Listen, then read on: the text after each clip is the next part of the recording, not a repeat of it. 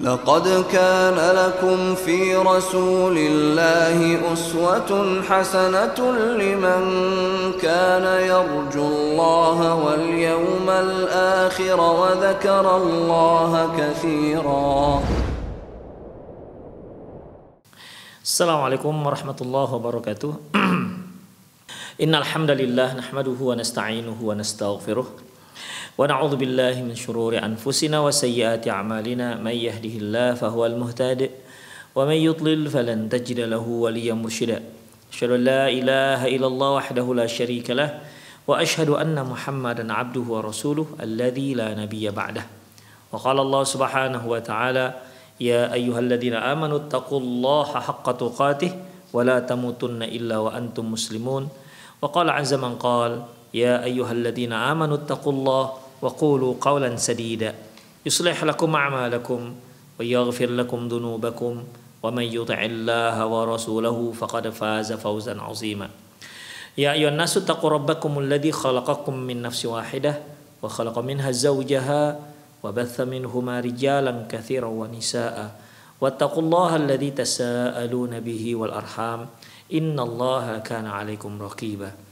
أما بعد إن أصدق الحديث كتاب الله وخير الهدي هدي محمد صلى الله عليه وسلم وشر الأمور محدثاتها وكل محدثة بدعة وكل بدعة ضلالة وكل ضلالة في النار kaum muslimin kaum muslimat para pemirsa Rosa TV dimanapun Anda berada. Alhamdulillah Allah Subhanahu wa taala masih memudahkan kita, masih memberi kita kesempatan untuk melanjutkan kajian kita. Kita bertemu lagi dalam kajian kitab Al-Mu'am Al-Muallimu Al-Awwal sallallahu alaihi wasallam. Para pemirsa sekalian, kita sudah membahas terkait dengan sifatun yang bagi tuwafiruha fil muallim. Yang bagi tawafuruha fil muallim. Sifat ataupun karakter yang harus ada pada diri seorang guru. Kita sudah bahas 11 sifat. 11 karakter yang memang harus ada pada seorang guru. Ikhlas jujur kemudian uh, ucapan sesuai dengan perkataan ucapan perbuatan sesuai dengan ucapan kemudian adil berakhlak baik rendah hati, berani, kemudian bisa bercanda dengan murid, dengan anak misalnya, atau dan juga sabar, mampu menahan amarah, kemudian tidak bicara yang kotor, kemudian yang kemarin telah kita bahas yaitu uh, sharing kepada dengan guru-guru yang lain ataupun dengan orang yang lebih berpengalaman ketika menghadapi berbagai macam masalah-masalah murid ataupun anak didik. Yang kedua, muhimmatun wa wajibatul muallim. Hal-hal yang wajib untuk dilakukan oleh seorang guru. Seperti yang kita ketahui bahwasanya guru itu berfungsi sebagai pendidik, pengajar. Ya, Nah, sekarang yang perlu kita ketahui apa saja yang wajib untuk dilakukan oleh seorang guru terhadap murid-muridnya. Ada beberapa poin terkait dengan masalah ini. Ya, yang pertama yaitu gharsul aqidati as-sahihati wa taqwiyatu al-imani khilal at-ta'lim. Menanamkan akidah yang benar dan menguatkan keimanan di saat memberikan di saat proses pengajaran. Artinya ikhwah, seorang guru harus pandai-pandai memanfaatkan momen dalam ketika dia mengajar untuk menguatkan akidah seorang murid, akidah anak didiknya. Ya. Jadi bukan hanya guru-guru yang mengajar akidah itu saja yang harus yang wajib untuk menguatkan akidah seorang murid, tapi guru-guru yang lain termasuk guru-guru yang mengajarkan ilmu-ilmu umum selain selain daripada ilmu syar'i mereka juga seharusnya menanamkan akidah ini kepada anak-anak muridnya. Baik, mari kita lihat. Qalilum minal muallimin alladzina yatafattanuna ila hadhihi tariqah. Sedikit sekali para guru memahami cara-cara ini. Wahiyya tatakhallasu fit tarsikhil aqidati fin nufusi tullab. Yaitu berupaya untuk ikut menanamkan, menancapkan, menanamkan akidah yang matang kepada anak-anak muridnya. Inda ta'limihim mawadal ulumit tabi'iyah. Yaitu di saat mereka mengajarkan ilmu ilmu, ilmu alam. Wal mawadu wal wal mawad al jiografiyah wal falakiyah demikian juga di saat mereka mengajarkan ilmu geografi atau ilmu astronomi wanahwiha ataupun yang semisalnya. Artinya ikhwah begini.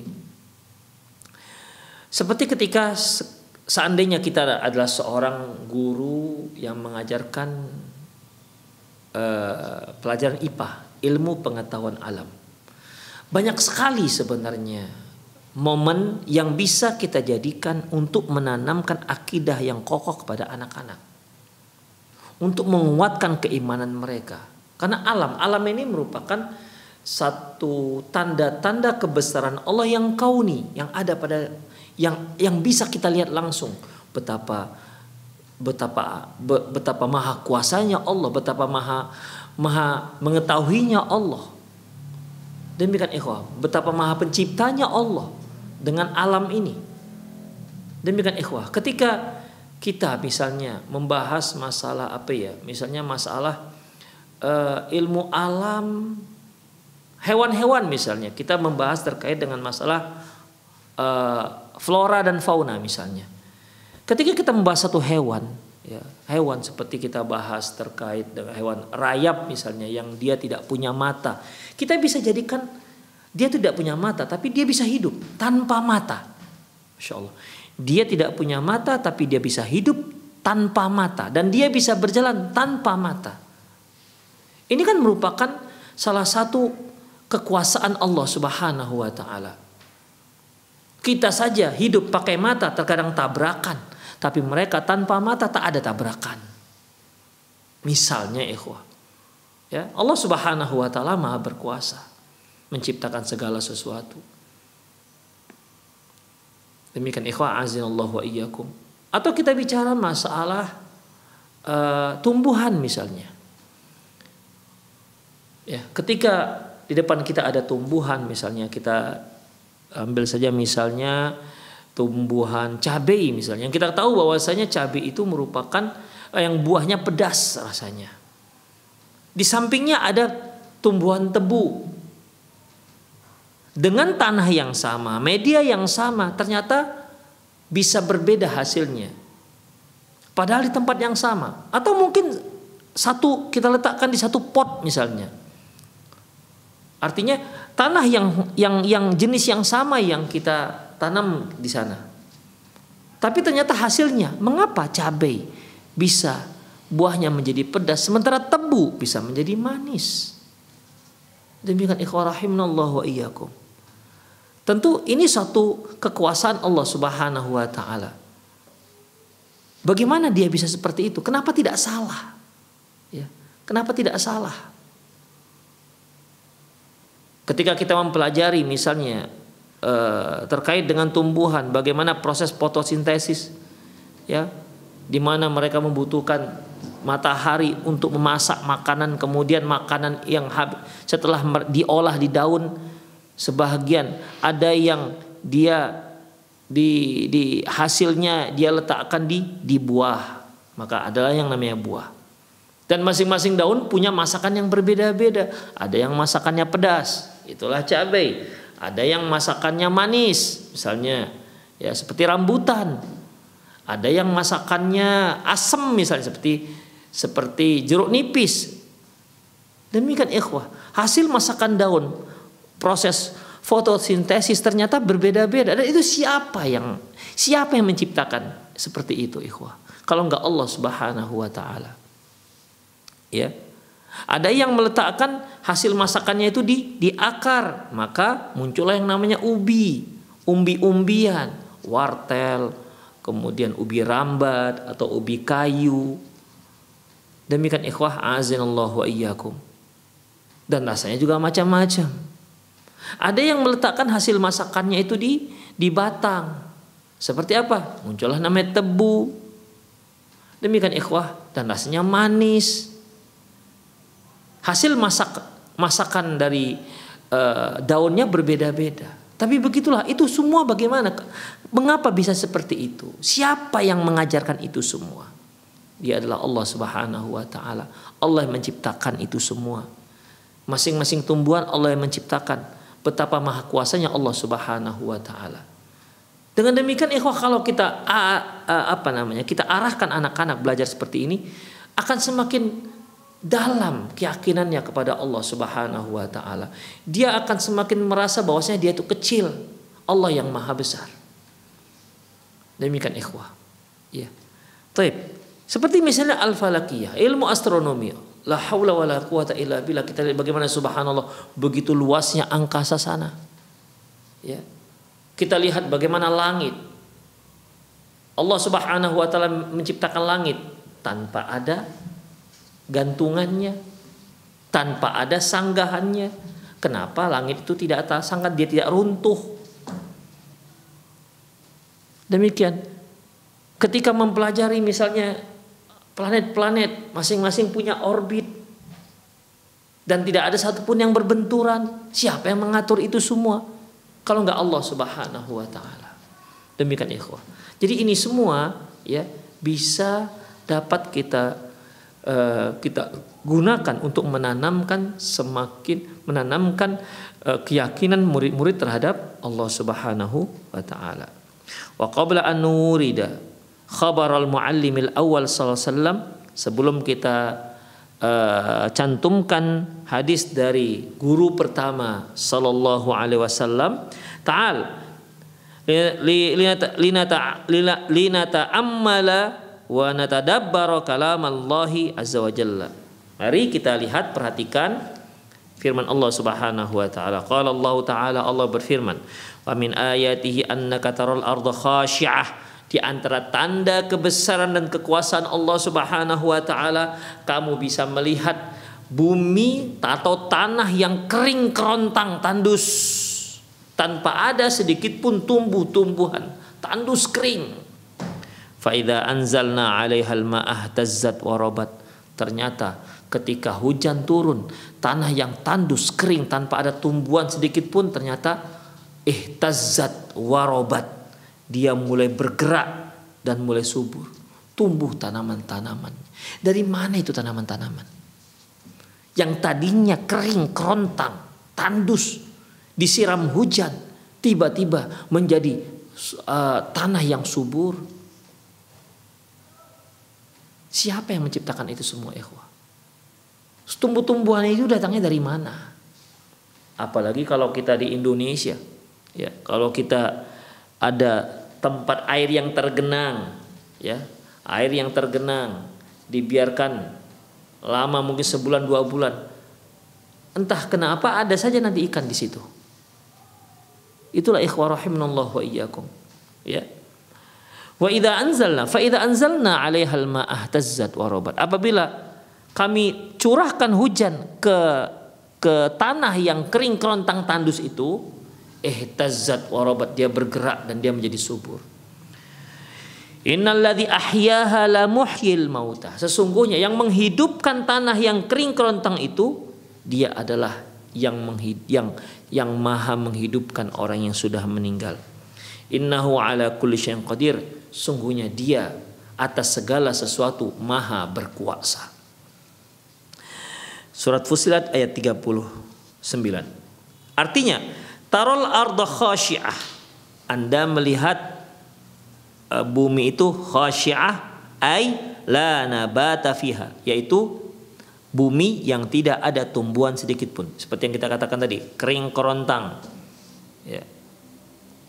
Faida anzalna 'alaihal ma'a apabila kami turunkan kepada Apabila kami curahkan ke tempat tersebut, ke tanah tersebut, air artinya kami curahkan hujan ke tanah tersebut, ihtazzat. Ay taharrakat taharrakat bin nabat, maka bumi pun bergerak dengan dengan tumbuhan-tumbuhan. Warobat summa anbatat min kulli zawjin bahij fa ahya bihal ibad wal bilad. Kemudian tumbuhlah dengan berbagai macam jenis tanaman-tanaman ya.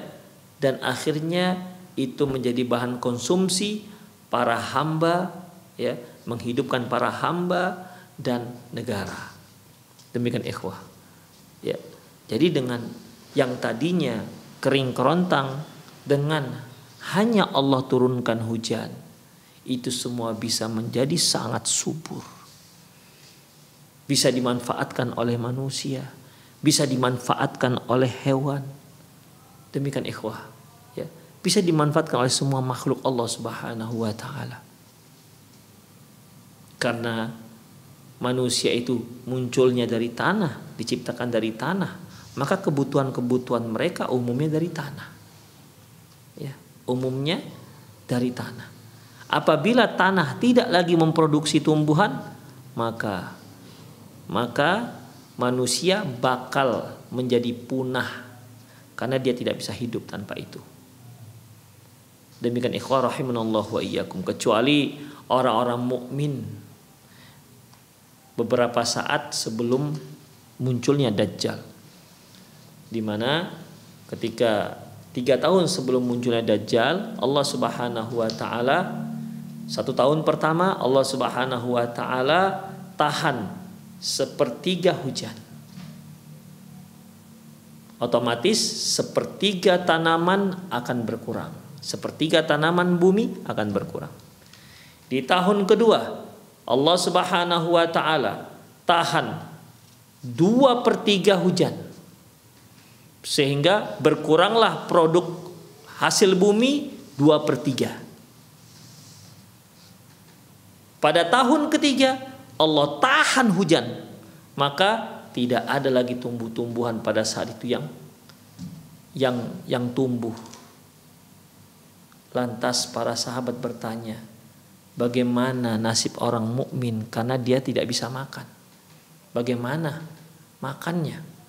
Bagaimana mereka hidup tanpa ada tumbuh-tumbuhan? Apa kata Rasulullah? mereka hidup dengan zikrullah, zikir kepada Allah Subhanahu wa taala. Ini kondisi yang istimewa, ikhwah. Ya. Kondisi yang istimewa.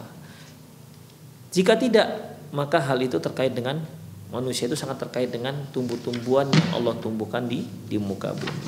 Baik. Innalladzi ahyaha sesungguhnya zat yang telah menghidupkan tanah yang tadinya kering kerontang kemudian menjadi subur ba'da mautiha hamudaha yaitu sesungguhnya zat yang telah mencipta yang telah menghidupkan tanah yang tadi kering la muhyil mauta sungguh maha berkuasa untuk menghidupkan orang yang sudah meninggal yaitu min kuburihim ila yaumil ba'thihim wa nusyurihim yaitu menghidupkan orang-orang yang sudah mati dari kuburnya, membangkitkan orang-orang yang sudah mati dari kuburannya nanti di hari kiamat. Wa annahu ala kulli syai'in syahid dan sesungguhnya dia atas segala sesuatu wa annahu ala kulli syai' innahu ala kulli syai'in qadir. Sungguhnya dia maha berkuasa atas segala sesuatu. Lam ya'jiz. Fakama lam ta'jiz qudratuhu ala ihya'il ard ba'da mautiha la ta'jiz an ihya'il maut. Sebagaimana Allah Subhanahu wa taala tidak sulit bagi Allah ya untuk menciptakan kehidupan sebagaimana Allah Subhanahu wa taala tidak kesulitan dalam menghidupkan bumi yang tadinya yang tadinya kering kerontang Sebagaimana Allah Subhanahu wa taala tidak kesulitan menghidupkan kematian. Demikian ikhwah. Artinya begini. Manusia yang menciptakan manusia siapa? Allah Subhanahu wa taala. Dengan segala macam detailnya Allah Subhanahu wa taala ciptakan manusia dan Allah Subhanahu wa taala berfirman bahwasanya Uh, walaqad khalaqnal insana fi ahsani taqwim. Sesungguhnya kami telah menciptakan manusia dengan sebaik-baik ciptaan. Itulah manusia. Allah menciptakannya dengan sebaik-baik ciptaan. Belum ada sebelumnya ciptaan seperti ini. Lantas ikhwah apalah sulitnya bagi Allah untuk membangkitkan manusia yang sudah meninggal Wong tadinya dari tidak ada menjadi ada itu tidak sulit bagi Allah. Apalah sulitnya untuk menghidupkan apa yang sudah ada. Menghidupkan apa yang sudah mati. Ini maksudnya. Innalladzi ahyaha la muhyil mauta. Sesungguhnya yang menghidupkan menghidupkan bumi itu dia maha berkuasa menghidupkan yang sudah mati. Demikian sebagaimana kalian lihat bumi yang tadi kering kerontang kemudian Allah dengan mudah untuk menghidupkannya, menumbuhkan pepohonan dan dia menjadi subur sehingga bermanfaat untuk manusia dan makhluk-makhluk yang lain. Lantas apa sulitnya bagi Allah untuk membangkitkan kembali? Membangkitkan orang yang sudah meninggal. Jadi ikhwah, di sini Allah Subhanahu wa taala ingin mengajak kita untuk ber untuk memakai logika kita. Tujuan ini ikhwah, ini bantahan bagi orang-orang yang tak tidak meyakini adanya hari berbangkit. Bagi mereka mustahil. Kan kalau kita lihat dalam ayat selalu orang-orang kafir yang tidak yakin dengan adanya hari berbangkit dengan hari kiamat, apa kata mereka? Aidza kunna turaba 'idhaman aina la mab'utsun? Apakah kalau kita sudah menjadi tulang belulang sudah menjadi tanah lantas kita bisa kembali dibangkitkan? Awa abaunal awwalun. Kemudian juga ayah-ayah kita yang dulu itu juga dibangkitkan. Demikian ikhwah. Ini kan pertanyaan tetapi apa mengolok-olok Makanya Allah jawab, "Qul innal awwalina wal akhirina lamajmu'una ila miqati yaumin ma'lum." Katakan ya Muhammad, semua dari orang yang pertama sampai yang terakhir semua akan dibangkitkan dan dikumpulkan di padang mahsyar. Demikian ikhwah rahimanallahu wa iyyakum. Jadi logika dipakai ya supaya orang-orang faham. Mereka yang yang tidak yang mengingkari adanya hari berbangkit faham tentang hal ini. Kalau kalian lihat Allah mampu untuk menghidupkan, Allah mampu untuk menciptakan manusia yang tadinya dari tidak ada menjadi ada dengan ciptaan yang sempurna, apalah susahnya bagi Allah kalau dia meninggal, Allah hidupkan kembali. Apalah susahnya? Sudah ada. Makanya ikhwah, kalau kita lihat penemuan-penemuan. Misalnya penemuan mesin apa misalnya penemuan listrik misalnya. Ketika listrik itu ditemui oleh sang penemu, berikutnya kan lebih mudah ya. Yang buat lampu misalnya, berikutnya kan pembuat lampu itu kan lebih mudah, bahkan berinovasi akan menjadi lebih baik. Mereka yang pertama sekali menemukan mesin diesel misalnya, atau yang pertama kali menemukan mesin uh, mesin apa namanya mesin bensin misalnya setelah itu kan lebih mudah dia buat yang kedua, yang ketiga, yang keempat. Sedangkan dia tadinya tidak ada menjadi ada, mereka bisa membuatnya. Apatah lagi hanya sekedar yang mesin yang rusak kemudian diperbaiki. Apalah susahnya?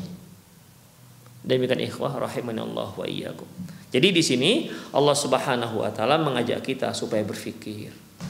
Ya, berpikir bahwasanya Allah mampu, Allah Maha berkuasa menciptakan sesuatu ya dari yang tidak ada menjadi ada, apalah susahnya bagi Allah untuk membangkitkan kembali ketika dia sudah meninggal dunia. Faya laital muallimina yuhsinuna rabata baina zawahir tabi'iyyati wa baina umur al-aqidah. Wahai seandainya para guru itu dapat dengan apa namanya mampu untuk mengkaitkan antara alam semesta dengan akidah, dengan perkara akidah. Seandainya para guru itu mampu melakukan hal ini, seandainya para guru itu bisa mengkaitkan masalah-masalah alam ini dengan akidah Islamiyah agar si murid benar-benar memiliki akidah yang kuat. Demikian. Kama jaa fi ayat sabiqah sebagaimana yang disebutkan dalam ayat yang kita bacakan tadi. Bayyana Allah subhanahu bayyana Allah subhanahu wa ta'ala halal ardil maytati allati lam tumtir di mana Allah Subhanahu wa taala menjelaskan kepada kita tentang bumi yang belum tersiram oleh air hujan. Minal jafafi wa mautid nabati fiha. Karena kering kerontang dan tidak adanya pohon yang bisa tumbuh. Wa atharal ma'u 'alaiha idza ja'aha wa ghamaraha min zuhuril hayati 'alaiha wa taharrakat nabat wa ta wa taharraka an-nabatu fiha di mana air yang datang, hujan yang datang yang mengguyurinya itu mempengaruhi kehidupan, membuat munculnya sebuah kehidupan bergeraknya bumi sehingga muncullah muncullah tanaman-tanaman. Summa bayyana Allah Subhanahu wa taala li'ibadi anna hadzal ihya alladhi yushahiduhu al-ibad. Kemudian Allah Subhanahu wa taala menjelaskan lagi bahwasanya proses hidupnya bumi yang tadinya kerontang kemudian menjadi subur yang dilihat oleh para ham, so, yang dilihat oleh hamba lahu nadhirun yaumil qiyamah. Itulah contohnya nanti di hari kiamat ketika Allah Subhanahu wa taala membangkitkan orang yang sudah meninggal. Wa huwa maut yaitu membangkitkan orang yang sudah meninggal. Kama jaa fit tafsir sabiq sebagaimana yang disebutkan dalam tafsir yang telah lalu Qauluhu kama lam tu'jiz qudratuhu an ihya'il ardi ba'da mautiha la ta'jiz an ihya'il maut mauta. Sebagaimana sebagaimana kekuasaan Allah kemahakuasaan Allah itu tidak membuat sulit tidak membuat sulit tidak menyulitkan untuk menghidupkan bumi maka demikian juga Allah tidak sulit untuk menghidupkan yang sudah meninggal Wa fi syafun ala munkiril. Ini merupakan uh, ini merupakan bantahan yang sangat telak terhadap para pengingkar-pengingkar hari kiamat. Wa mathaluhu law arada al-muallim ay yatakallama 'anil jabali 'anil jibali fayuhsinu bihi ayyad ayyudak ayyadhkuru faidataha. Permisalan lain yaitu ketika seorang guru berbicara tentang gunung. Ya maka sebaiknya dia juga menyebutkan di antara faedah-faedah gunung. Jadi tidak hanya sekedar pengetahuan di Sumatera Utara ada gunung di antara Gunung Sibaya, Gunung Merak, uh, Gunung Sinabung yang masih aktif. Kalau di uh, provinsi Fulan ada gunung ini, kalau di provinsi Fulan ada gunung ini. Bukan hanya sekedar itu, tapi sebutkanlah apa faedah-faedahnya. Ya. Sebutkan faedah-faedahnya. Ini ada gunung Merapi, ini ada gunung yang aktif. Yang sekali-sekali dia akan meletus. Demikian apa faedahnya? Kenapa bisa meletus dan seterusnya? Ini kan semua kekuasaan Allah Subhanahu wa taala. Ya. Ceritakan faedahnya wal hikmatu min ijadiha dan faedah Allah menciptakan gunung. Wa huwa tathbitul ardi wa man'uha min yaitu untuk me, apa namanya untuk menenangkan bumi dan agar tidak bergerak, tidak goyang. Summa yadhkuru ta'ala kemudian dia sebutkan firman Allah Subhanahu wa taala alam naj'alil arda mihada? Tidakkah kami telah menjadikan bumi itu terhampar? Wal jibala autada dan bumi sebagai pasaknya uh, surat An-Naba ayat 6 dan 7. Wa qauluhu dan firman Allah Subhanahu wa taala wal arda ba'da dzalika dahaha akhraja minha ma'aha wa mar'aha. Dan bumi yang yang setelah itu kami ham, eh, dihamparkan dan kemudian dikeluarkan darinya air dan tumbuh-tumbuhannya. Wal jibala arsaha dan uh, dan gunung yang di, dipancangkan An-Nazi'at ayat 30, 31 dan 32. Wa qawluhu subhanahu wa ta'ala dan firman Allah Subhanahu wa taala, "Afala yanzuruna ilal ibili kaifa khuliqat?" Tidakkah kalian melihat bagaimana unta diciptakan? Artinya Anda perhatikan bagaimana unta diciptakan. Satu-satunya hewan padang pasir yang sanggup untuk hidup di padang pasir. Kendaraan yang digunakan oleh manusia ketika dia berada di padang pasir.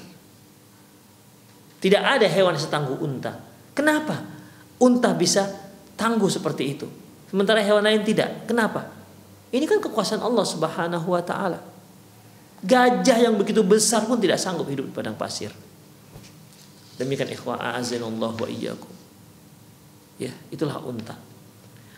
Afala yanzuruna ilal ibili kaifa khuliqat? Tidakkah kalian melihat bagaimana unta itu diciptakan? Wa ilas sama'i kaifa rufi'at?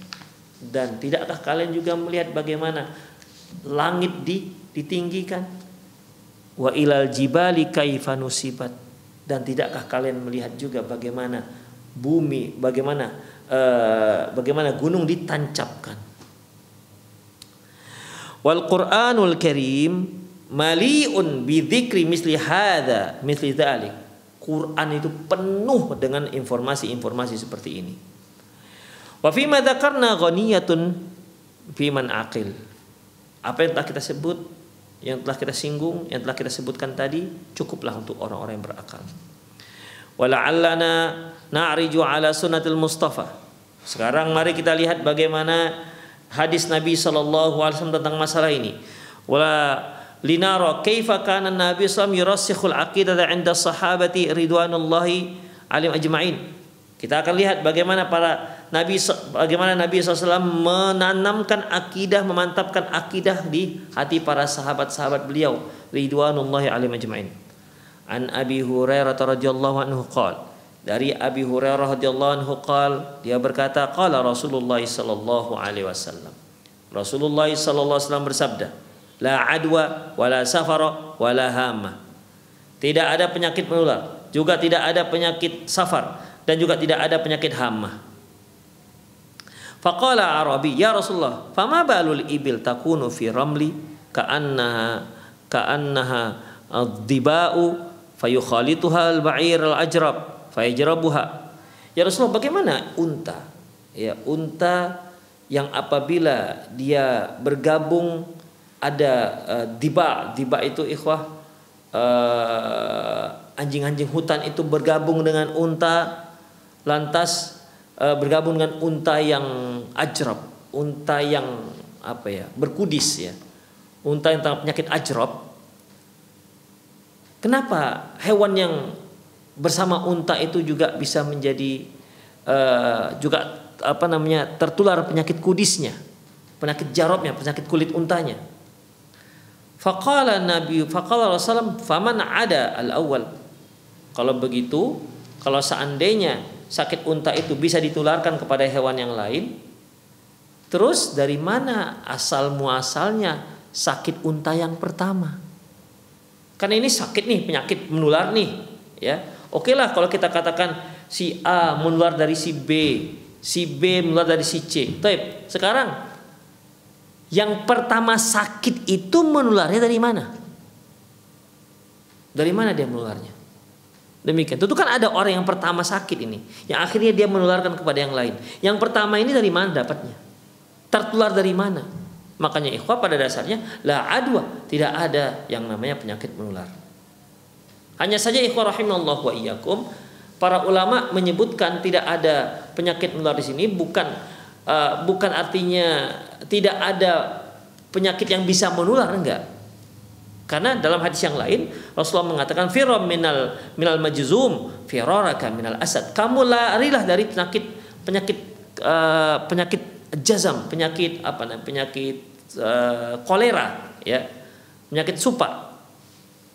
Sebagaimana kamu lari dari melihat lari ketika melihat harimau. Artinya uh, begini ikhwah Eh, para ulama menggabungkan dua hadis ini yang dua-duanya hadis sahih. Pertama hadis la adwa wala tayra tidak ada la adwa wala tirata tidak ada penyakit menular dan juga tidak ada yang namanya anggapan-anggapan sial. Yang kedua yaitu dengan hadis di mana firra firra minal majzum firra minal asad kamu hendaklah lari dari penyakit yang menular sebagaimana kamu melihat harimau artinya ikhwah para ulama menggabungkan dua hadis ini bahwasanya ya bahwasanya penyakit tersebut tidak bisa menular dengan sendirinya. Demikian, kecuali dengan kuasa Allah Subhanahu wa taala. Kalau kita lihat misalnya kemarin ketika pandemi, Allah Subhanahu wa taala menuntaskan pandemi ini sama sekali. Ketika pandemi, ada yang mudah menular. Ya, ada yang mudah menular, tertularkan. Tak bahkan tapi ada juga yang tidak tertularkan. Ada sebuah kisah di mana seorang suami istri, ya sepasang suami istri, Suaminya jelas-jelas sudah terkena COVID, tapi karena dia tidak diketahui, ya namanya uh, suami istri mereka melakukan hubungan. Demikian ikhwah. Tapi ternyata suami terkena COVID, ayah bundanya terkena COVID, si istri tidak terkena. Kenapa si istri nggak kena? Kenapa si istri tidak tertularkan? Baga ya kita tahu bagaimana suami istri ketika mereka melakukan hubungan. Kok bisa tidak kena? Kan tidak ada sedekat itu.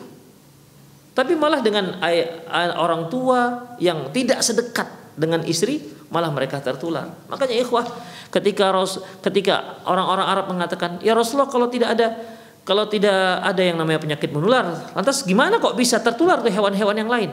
Rasulullah menjawab, "Faman adal awal." Kalau begitu, yang menularkan hewan pertama yang kena sakit itu siapa? Dari mana dia tertularnya? Kalau Hafiz Ibnu Hajar Hafiz Ibnu Hajar berkata fayujribuha huwa binaun ala ma kanu ya'taqiduna mil adwa.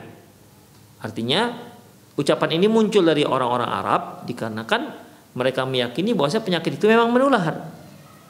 Ayyakunu sababan liwuku'il jarab biha yaitu sebab penyakit jarob itu terkena.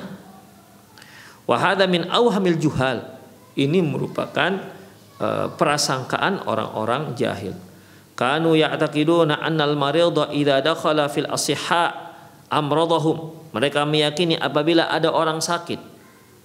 Jika orang sakit itu uh, masuk ke tempat orang yang sehat maka orang yang sehat ini mem, dapat menjadi sakit dibuat orang yang yang sakit tadi. Fanafa syari' dzalika wa abtalahu. Sehingga syariat menafikan dan membatalkan teori ini Falamma awradal arabiyyu syubhah. Ketika orang Arab Badui ini memberikan syubhat. Kalau Anda katakan tidak ada menular, kenapa kok bisa menular?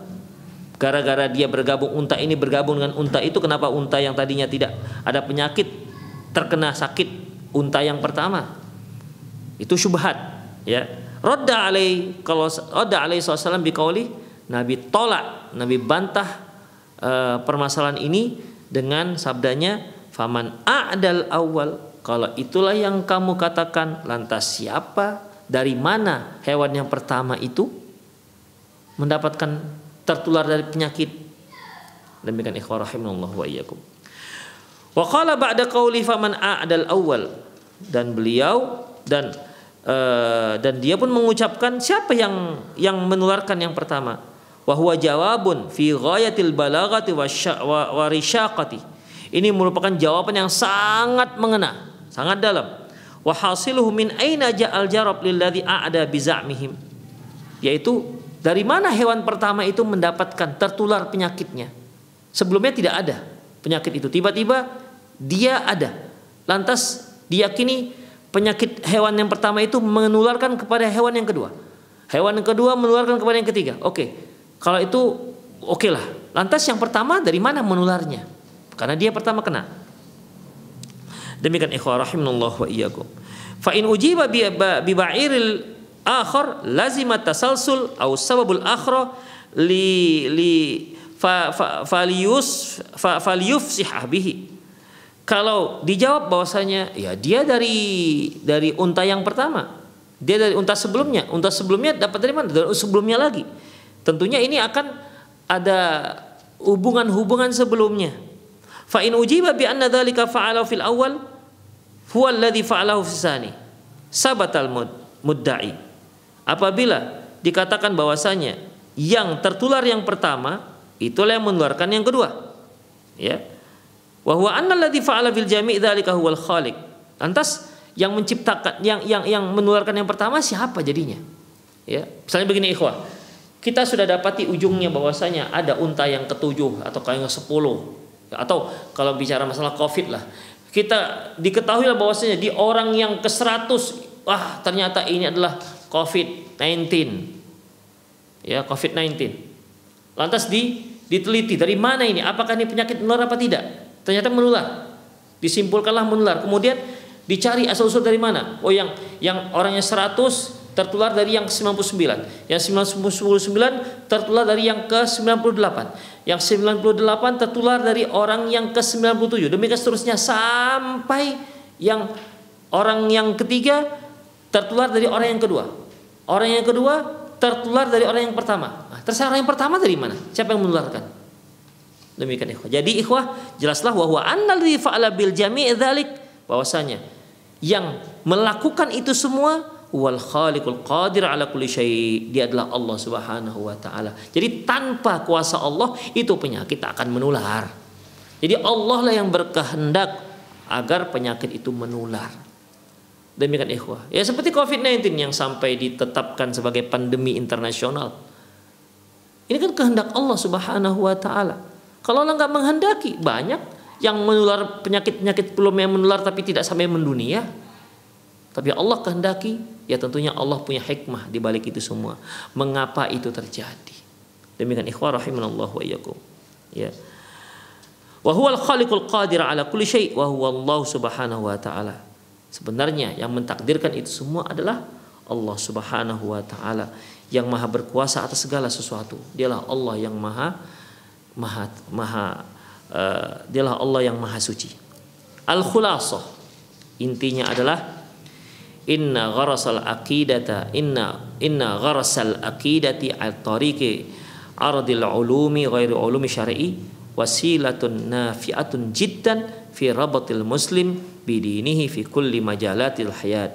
Sesungguhnya menanamkan akidah kepada anak-anak murid melalui pelajaran-pelajaran yang bukan pelajaran syariat ini merupakan sarana yang sangat baik sekali untuk menguatkan menguatkan hubungan antara seorang muslim dengan agamanya di setiap kesempatan yang ada di setiap lini-lini kehidupan yang kedua, inna hadir tariqah. Sungguhnya cara ini tuaddi ila taqwiyatil imani ladatul labi umuman.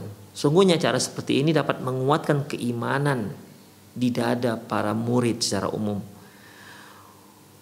Fatun syi'ulana jailan qawiyan fi mu'taqadihi wa silatul wa wasiqat silati bi Sehingga muncullah tercetaklah generasi-generasi yang kuat akidahnya dan kuat hubungannya dengan Robnya. Demikian ikhwah rahimanallah wa iyyakum. Jadi itulah hal yang pertama yang wajib dilakukan oleh seorang mualim di seorang guru di mana pun anda pelajaran apa pun yang anda ajarkan kepada murid-murid anda tanamkan melalui pelajaran itu akidah yang kuat, akidah yang sahih di dada anak-anak anda. Anda belajar masalah apa? Apa yang anda ajarkan? Ya, apa yang anda ajarkan? Anda ajarkan tata boga misalnya, masak-masak bisa, kenapa tidak bisa? Demikian ikhwah rahimanallah wa iyyakum. Misalnya kalau kita lihat belajar masak memasak misalnya, ya. Belajar masak memasak. Kita lihat ikhwah rahimanallah wa iyyakum seperti ketika kita menggoreng ikan. Ya. Kita bicara, ini ikan dari mana? Kenapa ikan ini ketika digoreng dia menjadi lebih lezat ketimbang dia mentah? Nah, itu siapa yang menciptakan? Perubahan itu siapa yang menciptakan? Yang membuat aturan itu siapa? Mengapa ini ikan yang tadinya dia mungkin hambar atau amis ketika dia sudah digoreng berubah menjadi lebih enak untuk dimakan?